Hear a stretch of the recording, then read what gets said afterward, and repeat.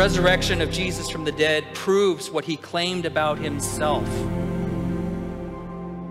that Jesus did not just climb off of a cross, but he would climb out of a grave.